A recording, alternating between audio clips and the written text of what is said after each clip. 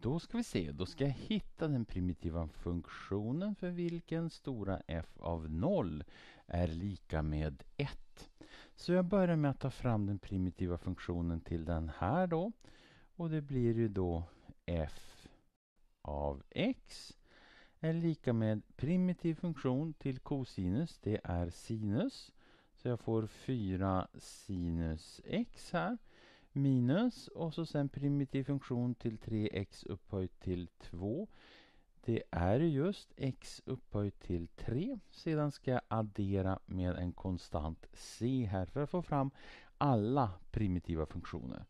Sen ska jag hitta den primitiva funktionen f av x som gör så att f av 0 är lika med 1. Sådär. Och då ska jag alltså bestämma vad det här c är för någonting. Så f av 0 är lika med 1 betyder då att det här 4 sinus 0 minus 0 upphöjt till 3 plus c ska vara lika med 1 här. Sinus för 0, det är 0. Så här så har jag då 4 gånger 0 minus 0 plus c är lika med 1.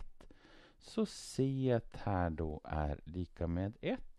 Så primitiva funktionen som uppfyller det här då är då den här. 4 sinus x minus x upphöjt till 3 plus 1